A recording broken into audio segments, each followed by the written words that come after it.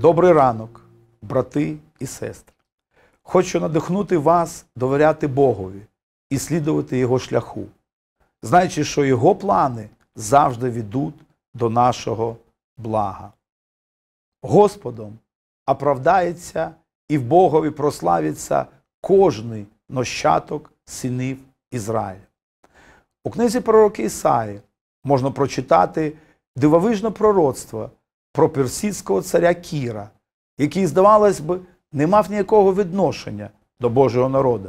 Але Ісая у Писанні називає його помазаником і говорить: так говорить Господь Бог до свого помазаника Кіра, якого провіцею я змінив, щоб слухались його народи, і розорву сілу царів, відкрию перед ним двері, і міста не замкнуться.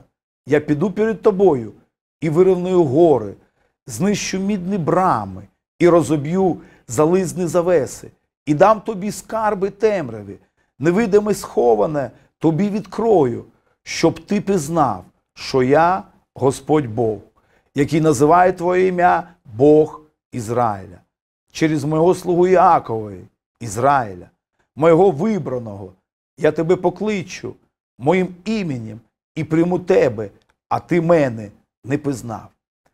Ця людина не знає Бога, але вона призначена ним, щоб завоювати Вавилон, да звільнити ізраїльський народ, да повернути їх у землю обітовану, щоб вони відновили служіння Господу, а також відновили храм.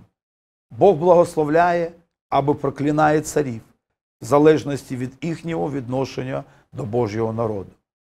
Нерідко Господь діє через несподіваних людей і обставини, щоб виконувати свою волю і благословити свій народ.